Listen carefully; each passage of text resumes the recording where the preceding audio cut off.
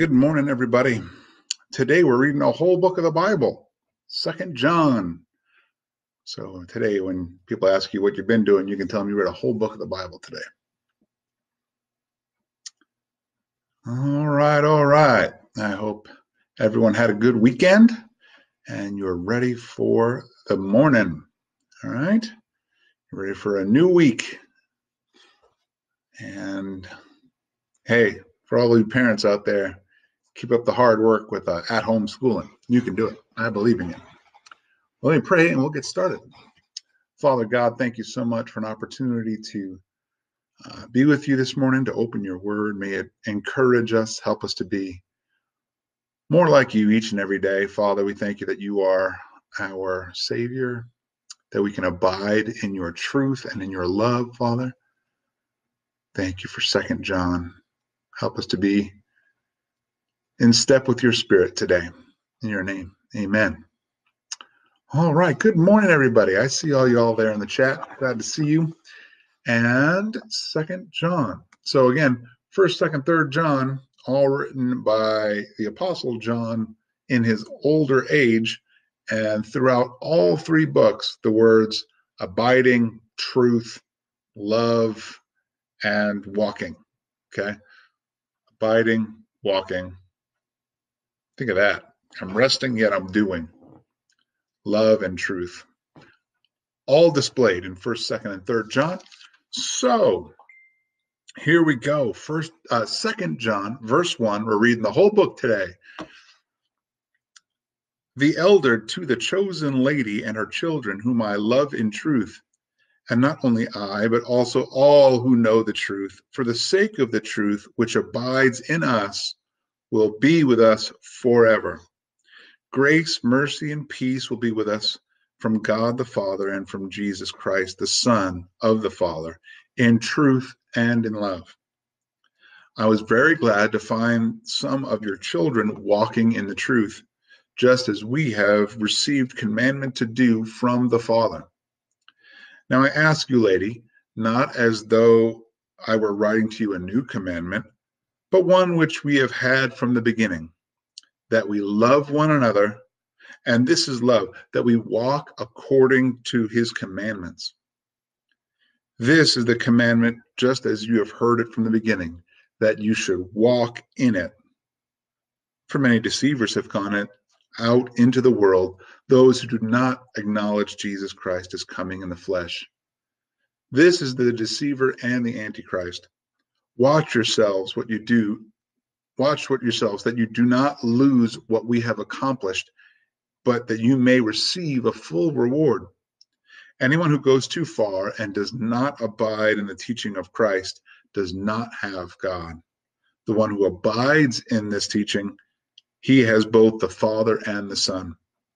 If anyone comes to you and does not bring this teaching, do not receive him into your house, and do not give him a greeting for the one who gives him a greeting participates in all evil deeds.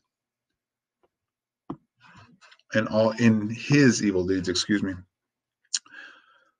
Though I have many things to write to you, I do not want to do so with paper and ink, but I hope to come to you and speak face to face so that your joy may be made full.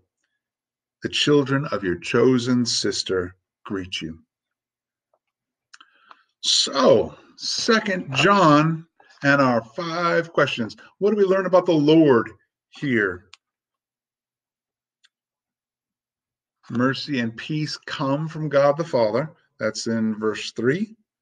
And from Jesus Christ, who is the Son of the Father. We we see scripture telling us this is the truth. Um, and it's also part of love too. So um, what else do we learn about the Lord? He gave us commandments to follow. Okay. So that walking in love is following his commandments, abiding in the teaching of Christ is his commandment. Um, we have, if we can stretch things out a little bit, we can infer from verse 8 that we have a full reward to receive from God, not from anyone else.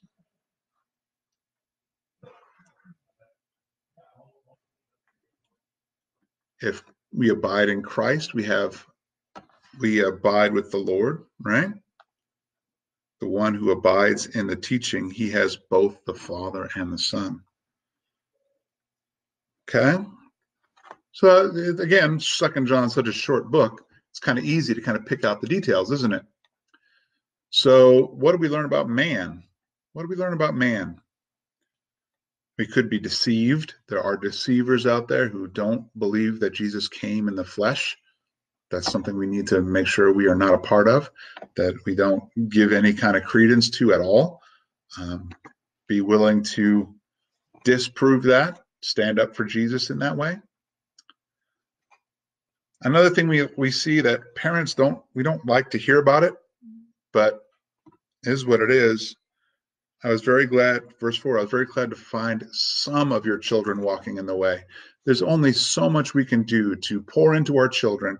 Eventually, at some point, they take their faith as their own and they are adults and what they do with it what they've been taught is is on them it's on them and when we when we raise our children when we raise them um, remember here in you know scriptural times back at the turn of eh, BC and AD, you know, you were really considered an adult somewhere in the teenage years.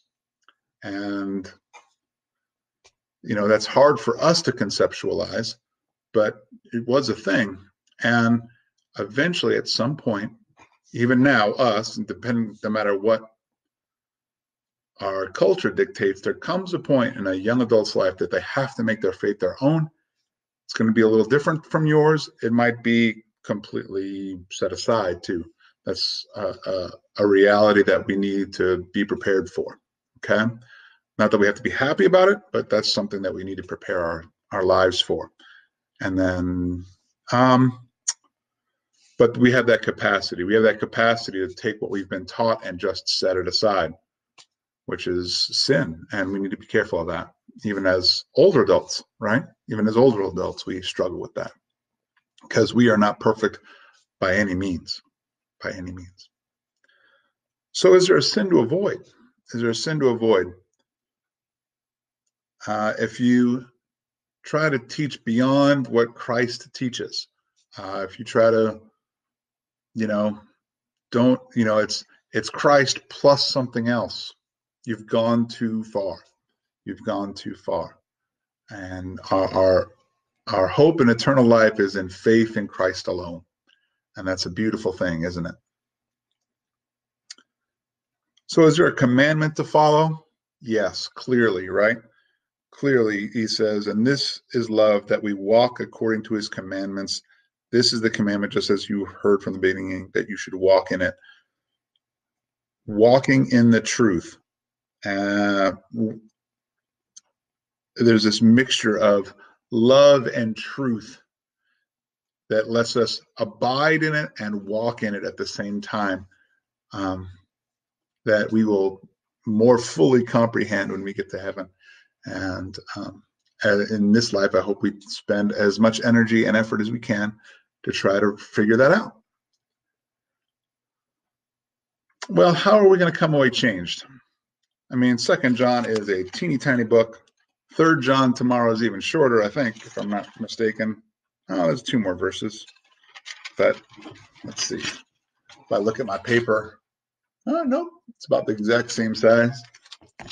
Uh, Second John, teeny tiny book, but it's impactful. If we just take that core concept of the mixture of truth and love, and that mixture of walking and abiding letting that drive our our energy, our attitude, our compassion for people, we we will be okay. Look to love in truth and walk and abide in that truth and love and just ask yourself what's the next right thing to do in the next 15 minutes what's the next right thing to do in the next hour what's the next right thing to do and then be about doing that.